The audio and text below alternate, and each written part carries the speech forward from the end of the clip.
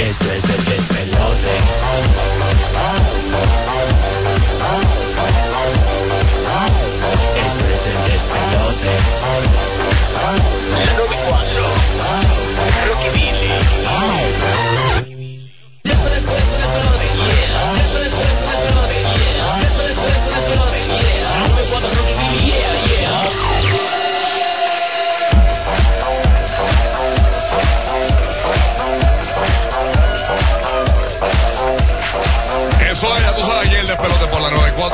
94.7, San Juan, 94.1, la zona oeste de Puerto Rico.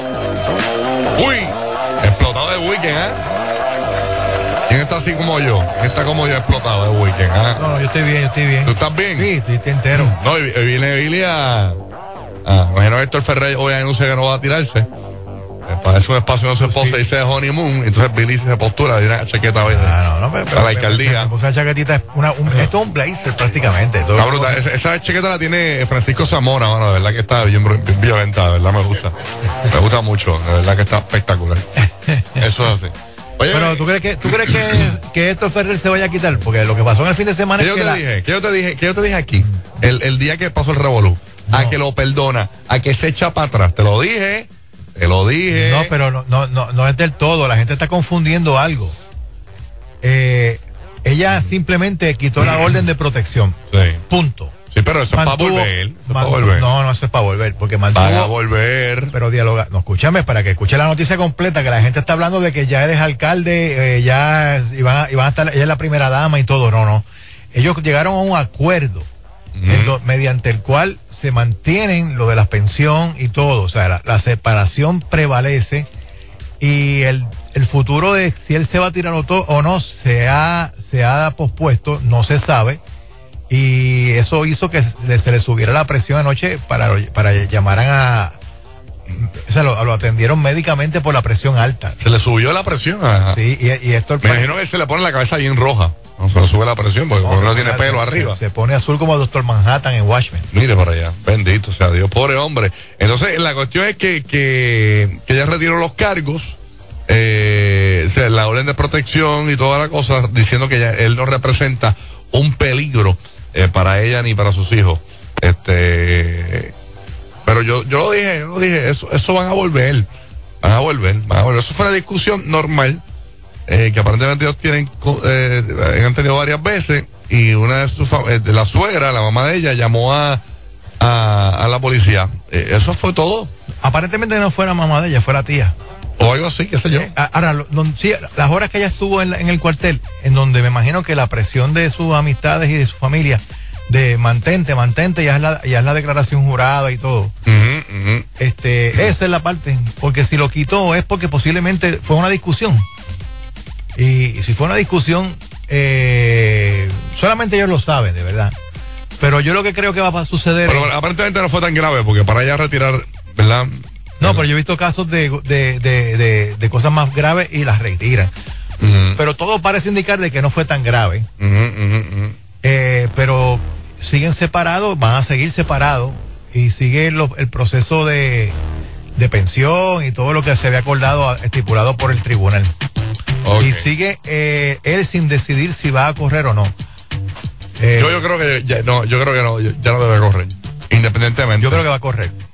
Yo creo que sí va a perder. Con, con ella o va a sin perder, ella. pero por más de lo que iba a perder anteriormente. Lo que pasa, Rocky, es que yo creo que la gente ahora le está cogiendo pena.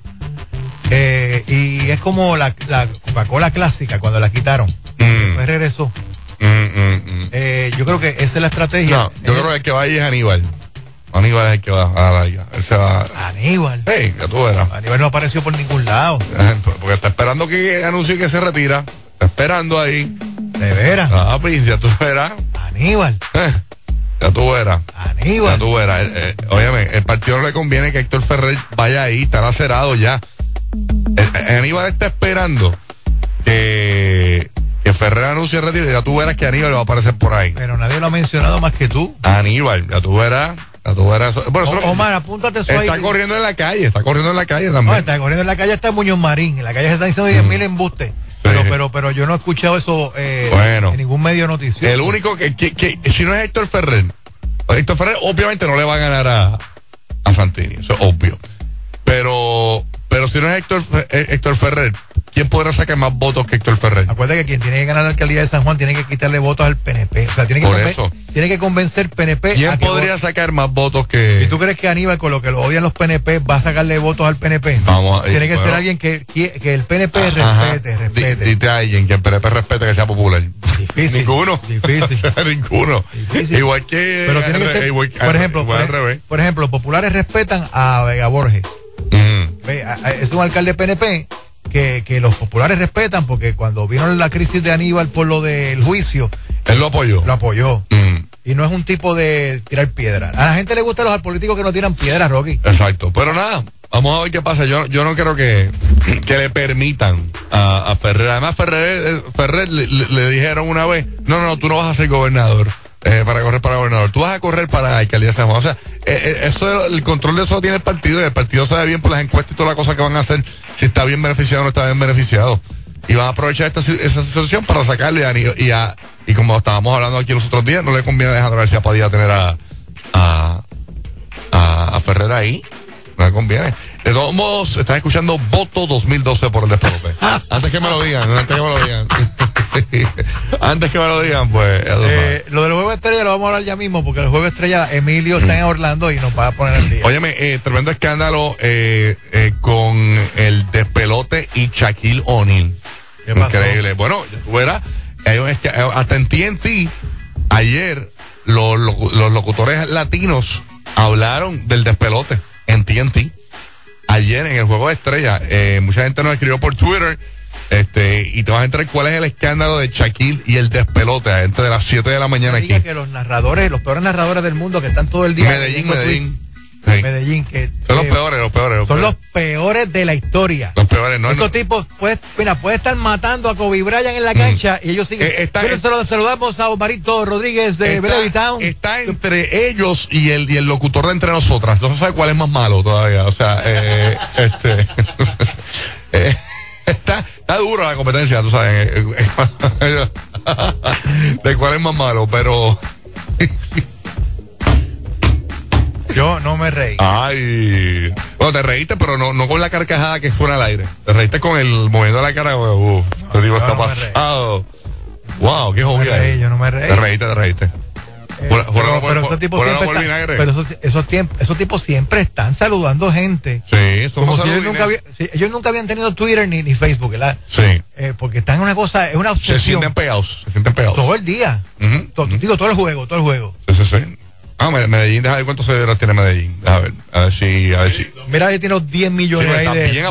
Medellín. A ver, Los Medellín. 10 millones de Lady Gaga. Medellín, yo, yo empecé a seguir ayer, porque yo lo, yo lo sigo y lo, y lo yo lo sigo y lo desigo. Lo desigo y lo desigo. A veces me cae bien, a veces me cae mal.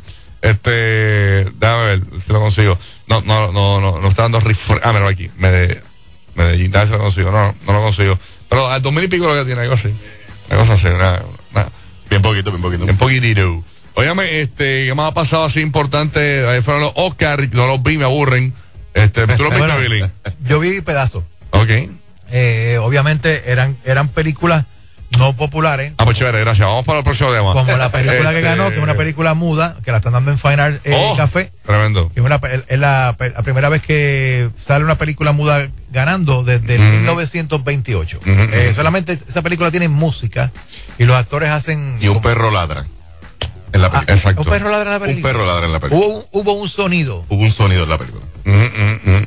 Mira, eh, hablando por, encimita del juego de estrella, por encimita del juego de estrella, pues ganó el West y perdió el East, o sea, perdió eh, el equipo donde estaba LeBron, Wade, Howard, este, Derrick Rose, perdieron. Entonces, eh, el West, donde estaba Kobe Bryant, donde estaba eh, Blake Griffin y toda esta gente, pues lograron ganar por dos puntos. Eh, una saca de rollo ahí, pero perdieron Emilio tres más detalles. Y- Kobe Bryant le- se lo rompió a Jordan.